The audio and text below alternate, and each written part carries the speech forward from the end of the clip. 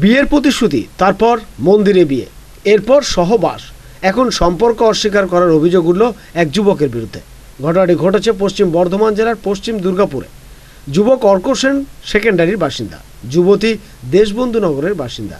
যুবতী অভিযোগ করেন অর্কর সাথে তার চার বছরের সম্পর্ক। যুবতী আরও জানায়, সম্পর্ক চলাকালীন তাদের মধ্যে শারীরিক সম্পর্ক তৈরি হয়। অপরদিকে যুবকটি জানায়, তাদের মধ্যে ভালোবাসার সম্পর্ক ছিল। বর্তমানে সে সেই সম্পর্ক আর রাখতে চায় না। তুমি শিবানী রয় শিবানী রয় বলে কোনো মেয়ের সাথে রিলেশনে ছিলে? হুম ছিলাম। কত বছর ধরে রিলেশন ছিল তোমার আমার রিলেশন ছিল দু হাজার সতেরো থেকে দু হাজার উনিশের মিডল অব্দি তো আপাতত তোমাদের রিলেশনটা কি কি রকম পর্যায়ে আছে এখন? আমার ব্রেকআপ হয়ে গেছে আর আমি এটা নিয়ে মানে কোনো দিকে এগোতে চাই না। কোনো দিকে এগোতে চাইছো না। মেয়েটা কি বলতে চাইছে তোমাকে? ও আমাকে এখন বলতে চাইছে যে ওর সঙ্গে মিউচুয়াল করতে গেলে ওর সঙ্গে নয় রেজিস্ট্রি করতে হবে বা ওর অ্যাডভোকেটের সঙ্গে দেখা করতে ওর ওর কিছু ডিমান্ডস আছে যেগুলো আমাকে পুরো করতে হবে। ডিমান্ড বলতে কীরকম ডিমান্ড আমি জিজ্ঞেস করেছি বলছে ওটা আমি বলব না আমার অ্যাডভোকেট বলবে। আচ্ছা বেসিক্যালি ও অ্যাডভোকেটের সামনে তোমার সাথে কথা বলতে চাইছে তাই তো? তো তোমাদের মধ্যে যে এই দু হাজার সতেরো থেকে রিলেশন ছিল সেই রিলেশন থাকাকালীন তোমাদের মধ্যে কোনো ফিজিক্যাল রিলেশন কিছু হয়েছে? না। কিছু হয়নি? না। আর এরকম তুমি ওকে কিছু থ্রেট করেছ যে আমার কাছে এমন কিছু ফটো আছে যে ফটো বা ভিডিওগুলো ভাইরাল করে দিলে তোর লাইফ নষ্ট হয়ে যাবে? তোমার কাছে এরকম কোনো ফটো বা ভিডিও নেই?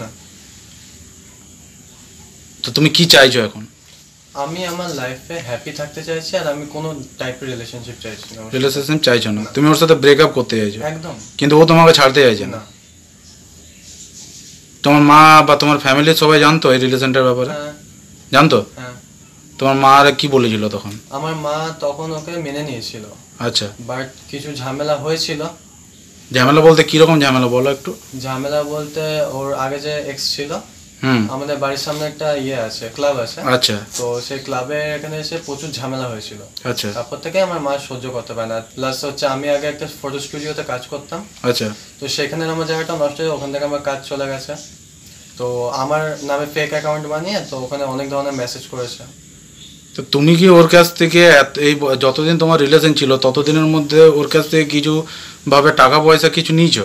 হ্যাঁ নিয়েছিলাম। অবশ্যই নিয়েছিলাম। একটা রিলেশনশিপে নেওয়া দেওয়া হয় আমিও দিয়েছিলাম। কত টাকার মতন তুমি ওর কাছ থেকে নিয়েছো বা তুমি ওকে কত টাকার মতন দিয়েছ? সেটা তো হিসাব থাকে না না? তাও একটা বেসিক্যালি বলো। তুমি যেটা দিয়েছ সেটা তো মনে আছে তোমার?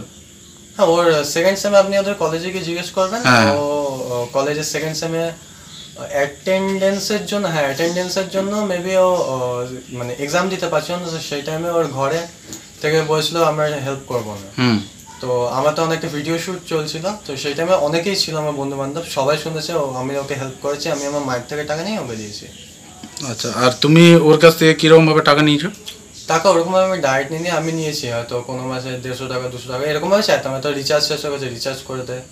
বা কোনো কারণে একশো টাকা দরকার ও কি ও কি করে দিত তোমাকে? হ্যাঁ দিত। আচ্ছা। চলে বলছি দিত। তুমি কি ওকে এই এতদিন রিলেশনের মধ্যে কখনো মেন্টালি এরকম টর্চার করেছ বা এরকম কখনো কথাবার্তা বলেছ যে তুমি আমার জন্য কি করতে পারবে? হাত কাটতে পারবে? না না এটা কোনো ও ডান হাতে আমি দেখলাম যে অনেকগুলো হাত কাটা আমি তোকে বলছি আপনি ওর যদি ওর ফ্যামিলিতে যান ও বিশেষ করে আগে ওর একটা বয়ফ্রেন্ড ছিল নাম ছিল হচ্ছে ঋত্বিক চ্যাটার্জি। আচ্ছা। ঠিক আছে তো ও আগে ওই জিনিসটা করছে এখান থেকে এত দূর অব্দি হাত ফাত সব কেটে নিত। কতটা হাত কাটা আছে বলো? ও এখান থেকে এত দূর অব্দি হাত ফাত কেটে নিত। আচ্ছা ওটা কার জন্য কেটেছে? তোমার জন্য না প্রথম? না প্রথম যে ছিল তার জন্য। তোমার জন্য এখনও পর্যন্ত হাত বা কিছু হ্যাঁ কেটেছিল আমার একটা বন্ধু বার্থডে ছিল। ঠিক আছে আমাকে ইনভাইট করা হয়েছিল। তোকে ইনভাইট করেননি। আমি গেছিলাম আমাকে আমার একটা বন্ধু পাশের বাড়ি থেকে নাম বলব না তো বন্ধু আমাকে ফোন করে হঠাৎ করে বলে মানে আমি ফোন রিসিভ করছিলাম একটু ঝামেলা হয়েছিল যেহেতু। আচ্ছা। তো আমাকে বলছে ভাই বিশাল কেস হয়ে গেছে। কি হয়েছে? তো আমাকে বলছে শিবানী এখানে হাত কেটে আমার কোলে পড়ে আছে। আমি বললাম, মানে বলছে দেখ পুরো হাত ফাত কেটে নিয়েছে। আমি ওখান থেকে এসে দেখি কনিষ্কতে অ্যাপোলো ফার্মেসির ওখানে গিয়ে ব্যান্ডেজ হচ্ছে। আচ্ছা এটা তো তোমার কোনো রকম ভাবে কোনো ইয়ে ছিল না ইনভলভমেন্ট ছিল না ও আমি নিজের থেকে? ছিলামই না এখানে। আচ্ছা আর তুমি কি তোমার কোনো বন্ধু বান্ধবদেরকে দিয়ে ওকে এই মুহূর্তে কোনো থ্রেডিং করছ যে হয় না। যদি করার হতো অনেকদিন আগে করতে পারতাম এতদিন পর না। যুবতীর অভিযোগ তাদের এমন কিছু ঘনিষ্ঠ ভিডিও ও ছবি ওই যুবকের কাছে থাকার ফলে তাকে ব্ল্যাকমেল করছে ওই যুবক। এখন ওই যুবক তাকে উত্তেজিত করে পাগল প্রমাণ করতে চাইছে। ওই যুবতী প্রশাসনের দ্বারস্থ হবে বলেও জানান। জোরে- আমার জোরে সাথে- বলো আমার সাথে দীর্ঘদিন ধরে মানে প্রায় চা পাঁচ বছরের কাছাকাছি একটা ছেলের সম্পর্ক ছিল। আহ, অর্ক সেন তার নাম সে সেকেন্ডারি সেকেন্ডারিতে থাকে। তো এখন হঠাৎ করে জোরে বলো। এরপর দু হাজার উনিশ সালে আমরা বিয়ে করি পঁচিশে আগস্ট। তারপর হঠাৎ করে এখন সে সম্পর্কটাকে অস্বীকার করছে। এবং প্রিয়াঙ্কা বণিক বলে একটা নতুন মেয়ের সাথে সম্পর্কে আছে। আমার সাথে সে কিছু টাকাও নিয়েছে প্রায় তিরিশ থেকে চল্লিশ হাজার টাকা মতো। সেগুলোকেও অস্বীকার করছে উল্টো বলছে আমি নাকি তার থেকে টাকা নিয়েছি। মোটামুটি প্রমাণ আছে সব কিছুই কতদিনের সম্পর্ক ছিল তোমাদের? প্রায় পাঁচ বছরের কাছাকাছি। পাঁচ বছর মানে কোন সাল থেকে শুরু হয়েছে সম্পর্ক দু হাজার সতেরো শেষ দিক থেকে। আর ও ব্রেকআপ কোন সাল কোন সালে হয়েছে? মানে ও ও বলতে গেছে কোন সালে ব্রেকআপ অস্বীকার করছে বলছে দু হাজার উনিশ সাল থেকেই সম্পর্ক নেই। আমার কাছে কল চ্যাট সব কিছুই রয়েছে প্রায়। তোমাদের পাঁচ বছর রিলেশন থাকাকালীন তোমাদের মধ্যে কি কি কি- কি হয়েছে সেটা আমাদের আমাদের মধ্যে শারীরিক সম্পর্ক থেকে শুরু করে বিয়ে পর্যন্ত হয়েছে কিন্তু ও অস্বীকার করছে সব কিছুই তার প্রমাণ কি আছে তোমার কাছে? তার প্রমাণ আছে ছবি আছে চ্যাট আছে মানে বিয়ে হয়েছে তার প্রমাণ হিসাবে তোমার কাছে ছবি চ্যাট সমস্ত কিছু আছে? হ্যাঁ সব কিছুই রয়েছে। কল রেকর্ডও রয়েছে। আর তোমার সাথে যে ফিজিক্যাল রিলেশন আছে তার কি প্রমাণ আছে? তার প্রমাণও আছে ছবি আছে চ্যাট আছে সেগুলোরও ছবি চ্যাট সব কিছুই রয়েছে। প্রত্যেকটা জিনিসেরই প্রমাণ রয়েছে। তো এখন তুমি কি চাইছো? এখন আমি বিচার চাই। আমার সাথে যে পাঁচ বছর ধরে নাটক করা হলো ও এখন যে এখন বিয়ে করে আমাকে অস্বীকার করা হচ্ছে এবং আমাকে যে বিয়ের পর টর্চার করা হয়েছে মেন্টালি এবং ফিজিক্যালি সেটার জন্য আমি বিচার চাই। কীরকম টর্চার করেছে তোমার উপর? মেন্টালি টর্চার করা হয়েছে টাকা দিতে হবে না দিলে সম্পর্ক রাখব না অস্বীকার করে দেবো। ফিজিক্যাল টর্চার করা হয়েছে বিভিন্নভাবে। সুইসাইড করতে পর্যন্ত বাধ্য করা হয়েছে। সুইসাইড কীরকমভাবে তুমি সুইসাইড অ্যাটেন্ড অ্যাটেন্ড করেছিলে? ঘুমের বড়ি খেতে গেছিলাম আর আর হাত কাটতে হাত হাত কাটতে গেছিলাম। তো দেখি তোমার হাতটা দেখো। কোনখানে কেটেছো?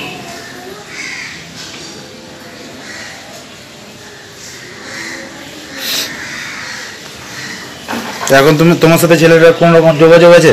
না এই মুহূর্তে কোনো যোগাযোগ নেই।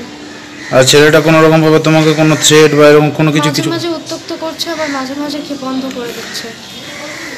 তার বক্তব্য হচ্ছে এটাই যে আমি আমার মতো থাকব, সে তার মতো থাকবে। যদি আমি আমি যদি তাকে টাকা দিতে না পারি, তাহলে সে আমাকে ঘরে তুলবে না। ওর ফ্যামিলিতে জানতো এসব জিনিসগুলো? সব কিছু জানতো আমাদের বাড়িতেও জানতো আর ওদের বাড়িতেও জানতো। ওদের বাড়ি থেকে কি বলেছিল? ওদের বাড়ি থেকে বলেছিল যে ছে- আম- মানে আমার ছেলে কাজ করুক ও মানে সে সে- অল্প সেন ছিল বেকার। আচ্ছা। তো বলেছিল যে তার ছেলে কাজ করুক তারপর বিয়েটাকে ভালো করে মেনে নেওয়া হবে। তো এখন ছেলেটা কি করে? এখন ছেলেটা কিছুই করে না। আমি আমার থ্রুতে একটা জবে জয়েন করেছিল কিন্তু সেখানে কাজ করতে পারিনি বলে তাকে রেজিস্ট্রি ছাড়িয়ে দেওয়া হয়েছে। ছেলেটা ফ্যামিলিতে কে কে আছে? ছেলেটার ফ্যামিলিতে রয়েছে তার মা এবং তার দিদি। তিতলি প্রধান নামে একটা অ্যাকাউন্ট থেকে তোমার নামে আরআইপি বলে একটা পোস্ট করা হয়েছে। ওই অ্যাকাউন্টটা কার? ওই অ্যাকাউন্টটা হচ্ছে অর্ক সেনেরই। ওই ওই আর কি ছড়ানোর চেষ্টা করছে যে আমি পাগল যাতে কোনো রকমের আমি বিচার না পাই। মানে তোমাকে মেন্টাল প্রুভ করার চেষ্টা করছে তাই তো? হ্যাঁ। আরআইপি বলে একটা পোস্ট করা হয়েছে ফেসবুকে তিতলি প্রধান নামে একটা অ্যাকাউন্টে সে অ্যাকাউন্টটা এখন ডিলিট করে দিয়েছে যে করেছে পোস্টটা হ্যাঁ। তো ওই অ্যাকাউন্টটা কার ছিল ওর সম্পর্কে বলো আমাদের একটু। অল্পকে খুলে দিয়েছিলাম পাবজি খেলার জন্য।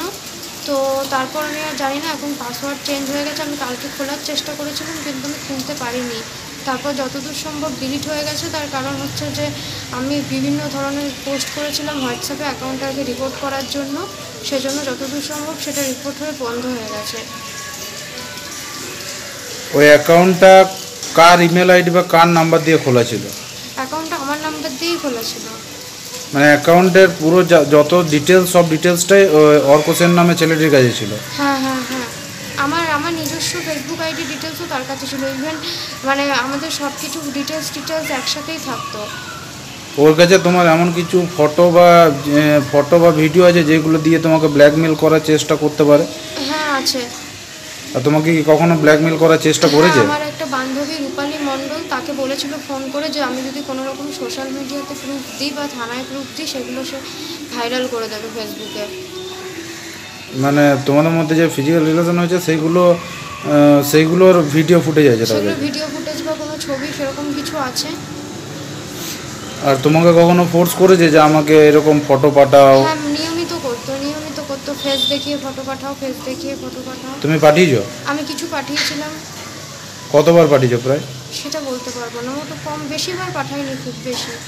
দু তিন চার চারবার হয়তো পাঠিয়েছিলাম ভিডিও না ফটো ভিডিও ফটো দুটোই। দুর্গাপুর থেকে সুব্রত অধিকারী আনন্দ বার্তা।